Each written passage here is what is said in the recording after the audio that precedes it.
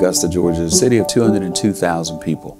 Uh, we're the home of James Brown, the godfather of soul. We are the home of the Masters Golf Tournament. Some 55,000 to 60,000 people who are going into the gates every single day from practice rounds to the tournament itself.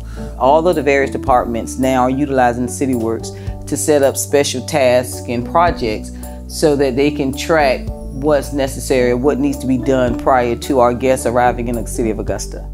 There's a huge influx of people during that time, that, and that system is kind of strained a little bit. The utilities department, we have the marshal's office, and we also have traffic engineering. I mean, they really do a lot for the masters, and I don't think everybody knows how much work they do and how much value they bring to that particular event. Um, prior to the masters tournament, several weeks, we have to put up a lot of extra signs that normally aren't around town to help direct the patrons to where they want to go.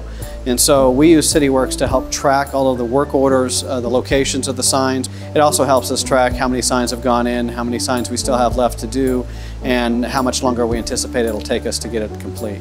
So now that we have CityWorks, different crews can see uh, what everyone's doing and where they are and where they've been. We can do what we need to do in a shorter amount of time. My involvement with the Masters has been to make sure that the work orders and service requests that have been created uh, are being properly assigned to that particular project.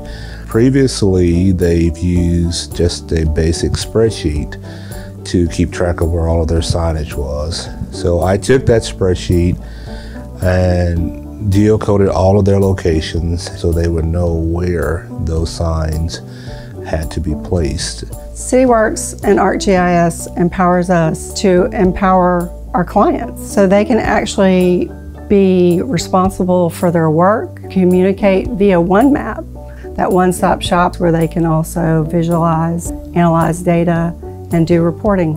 CityWorks and ArcGIS Maps gives us the ability for